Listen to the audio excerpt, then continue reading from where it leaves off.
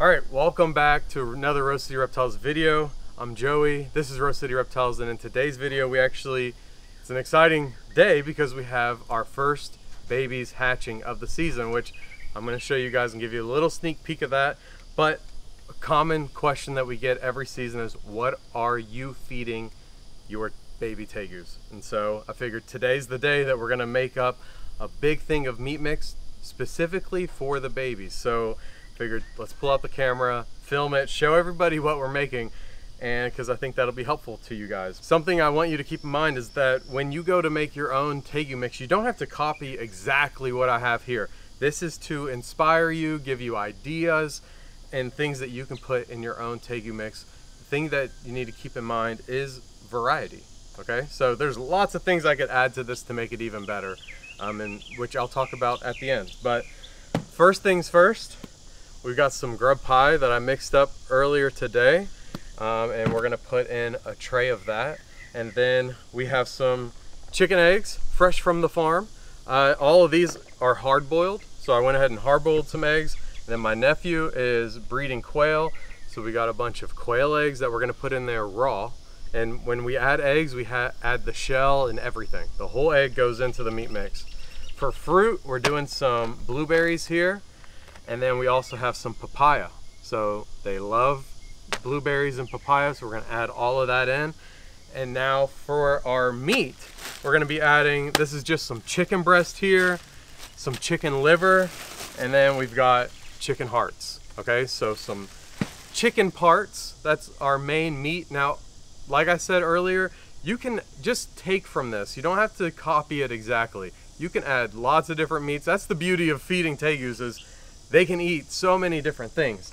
But one important thing to keep in mind, anytime that you're feeding um, meat that's not whole prey, so there's no bones in this meat, you have to add your supplements. So for our supplements, we are now using um, Sticky Tongue.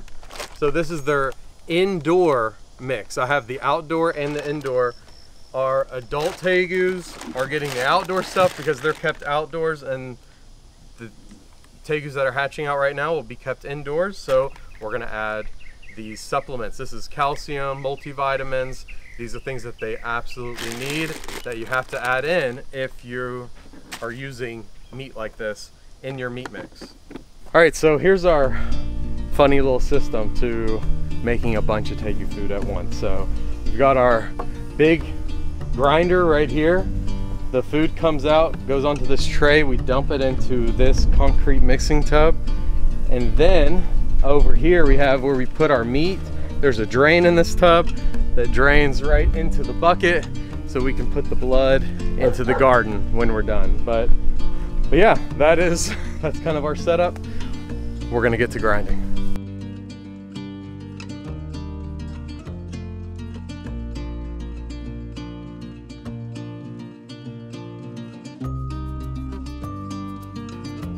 All right, so quick update in the reptile room before we go to the incubator.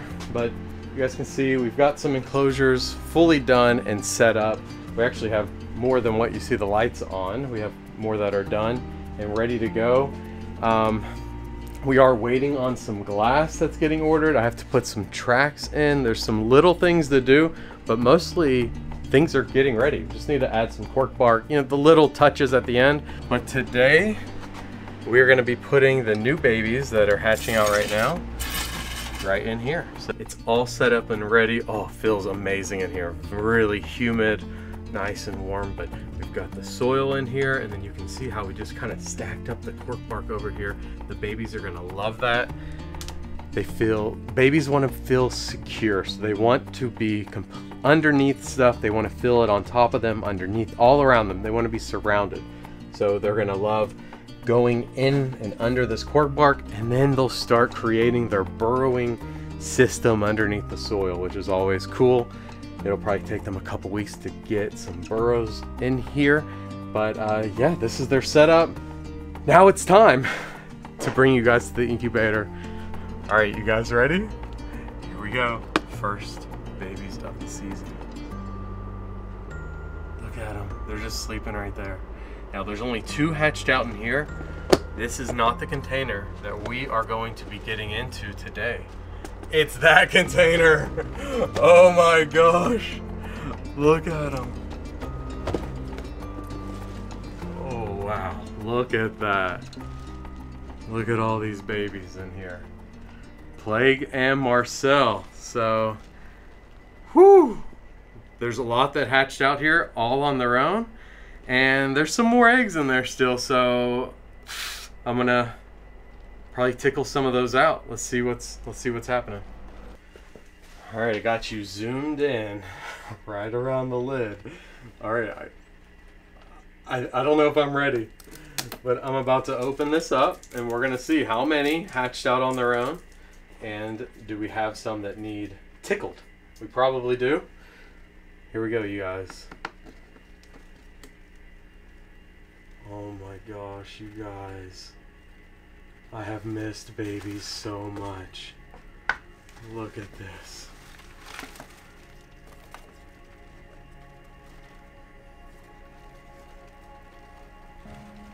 Plague and Marcel. They never disappoint. Holy moly. Woo!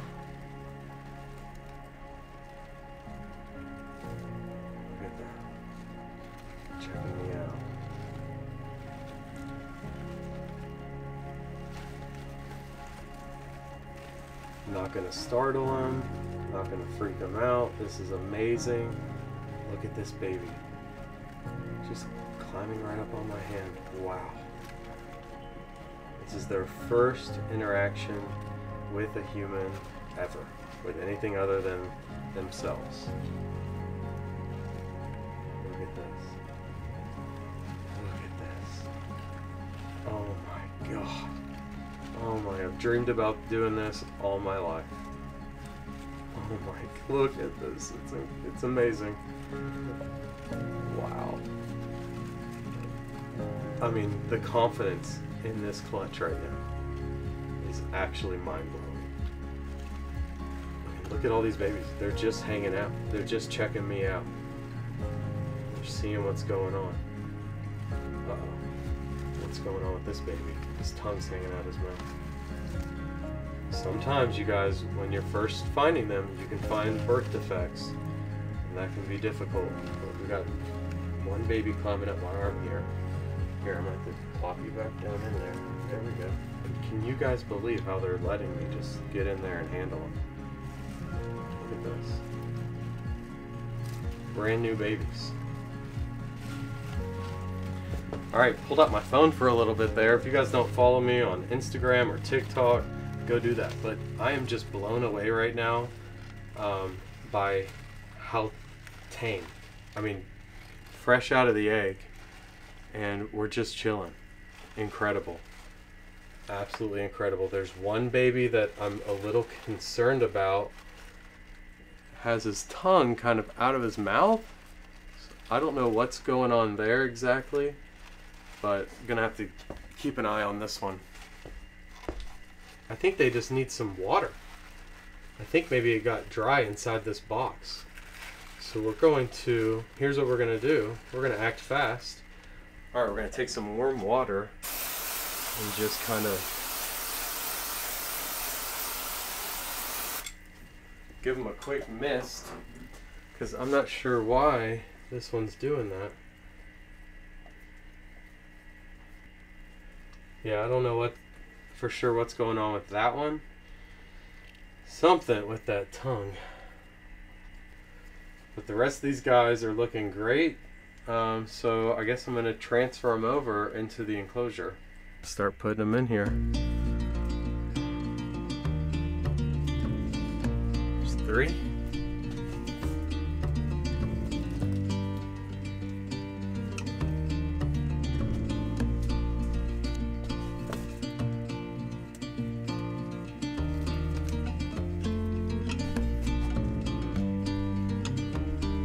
Jeez, crazy. Look at them. Adding them in. Plague and Marcel. Some of you guys watching this are getting one of these babies. That's always pretty cool.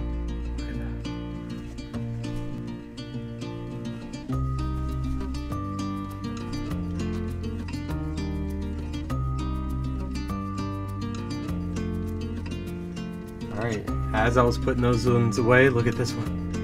Hatching out all on its own. I'm just gonna give it a little touch.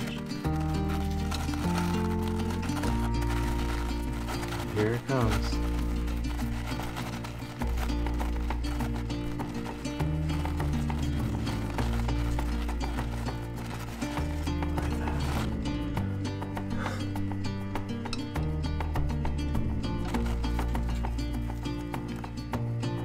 Another one coming right into the world right now.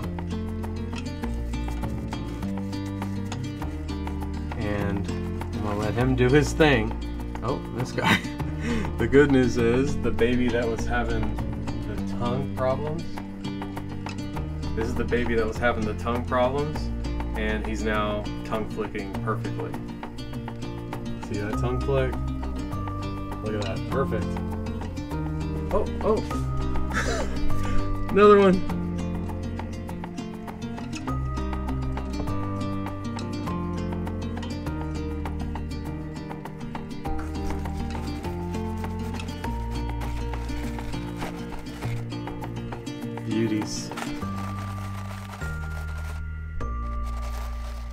At that.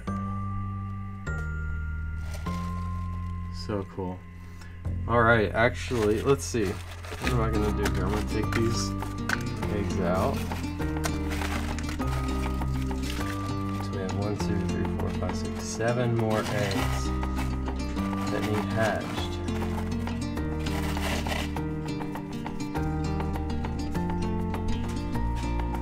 All right, so we're gonna pause putting babies away. Actually, just put them back in the incubator because our meat mix is done being ground up and now I'll show you what we do here. Um, I have this little mixing attachment on a drill and that's what we use to just kind of get all this blend together. But go ahead and get close up on the meat mix.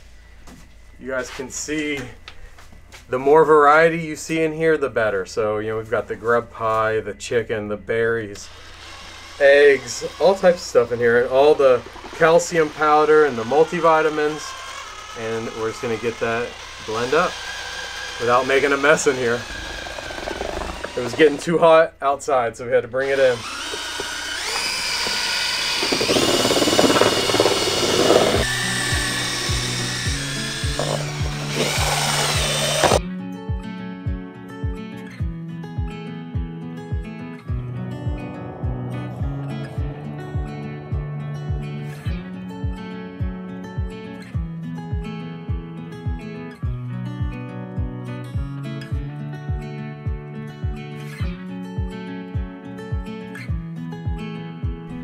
All right, so we got the Tegu mix all mixed up. It's all done, packaged up.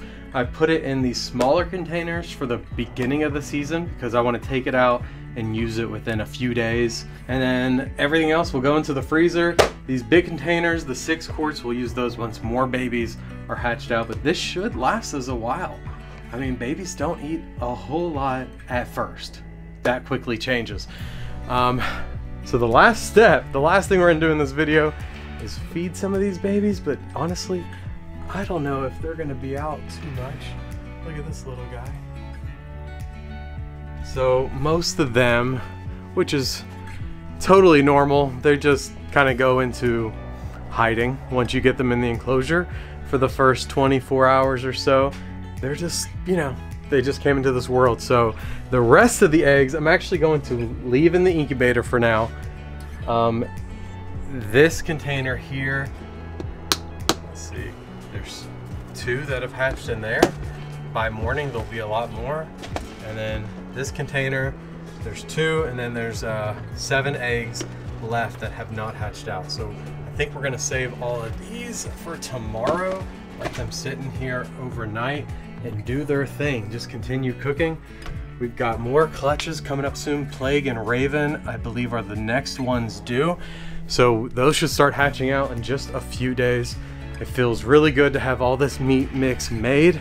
There's a couple peeping their heads out. I am gonna get some food and put it in there. I don't think we're gonna get a lot of action on the camera, but subscribe if you wanna see that because it won't be long. We'll be doing massive feeding videos in here, feeding all the babies that we've gotten here once they get a little bit more accustomed. So, all right, thank you guys for watching. See you guys in the next video. Peace out.